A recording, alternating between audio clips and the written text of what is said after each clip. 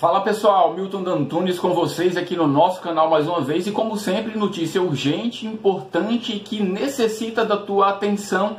especialmente sobre esse tema que é a margem dos 5%. A gente sabe que a votação da margem acontece terça-feira, dia 16, e a gente também já sabe, já tem colocado isso nos grupos, nas nossas redes sociais, acerca do senador Everton Rocha, que coloca uma emenda informando que ele e o PDT têm a ideia de não aprovar a, a, o aumento da margem, porque, segundo a opinião deles, vai endividar ainda mais você aposentado e você pensionista. Nós já sabemos, nós já informamos e já provamos que endividamento feito pelo aposentado e pelo pensionista por invalidez, dentro das regras do consignado do INSS, com, com juros de 1,8 seria a melhor das piores opções para que você pudesse ter um fôlego aí através do teu empréstimo consignado. Segundo ele, não aprovam a ideia por conta disso.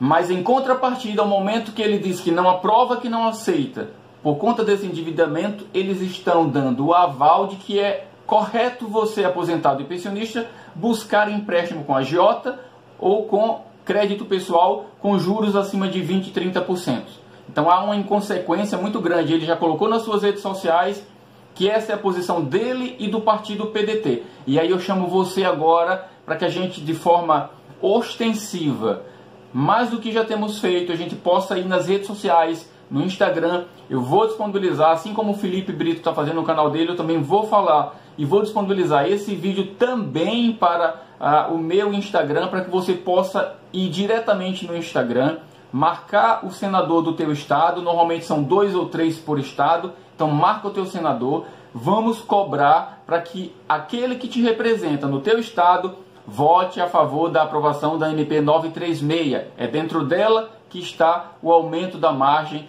com o projeto de lei 2017 de 2020. A gente precisa fazer isso agora urgente, porque é inaceitável que um senador que, é, que quer no momento apenas holofote, que quer apenas a atenção para ele, coloque em risco qualquer possibilidade de risco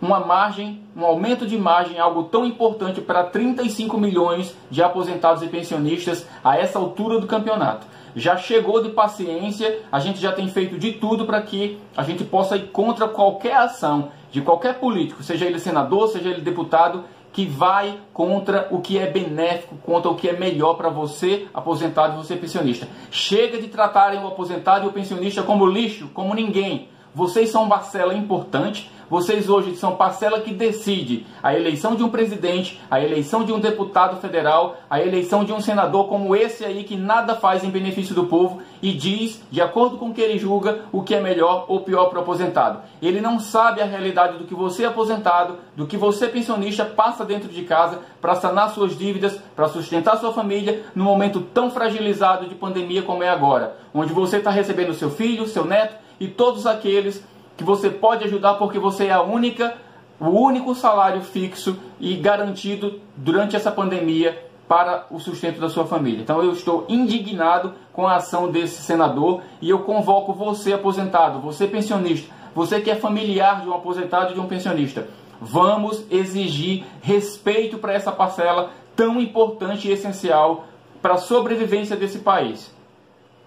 Então é importante agora que você compartilhe essa informação, passe essa informação para o maior número de pessoas que você puder. Nós temos hoje e amanhã para trabalharmos o máximo que pudermos sobre cobrar desses políticos, cobrar desses senadores a aprovação da 936, da MP 936, para que essencialmente o aumento da margem no consignado, que tanto vai ser benéfico para você aposentado e você pensionista, possa sim sair do papel, possa ir agora para a sanção do presidente e, enfim, você ter essa realização de algo tão simples e tão necessário para a tua vida nesse momento, tá bom? Inscreve-se no canal, é importante a tua participação, se inscrevendo no canal, compartilhando realmente essa informação. Deixa aí o teu like, deixa o teu comentário, deixa aqui na descrição do vídeo aquilo que você concorda ou discorda do que eu estou falando, porque eu estou na direção do que é melhor para você aposentado, do que é melhor para você pensionista, do que é melhor para o povo desse Brasil tão sofrido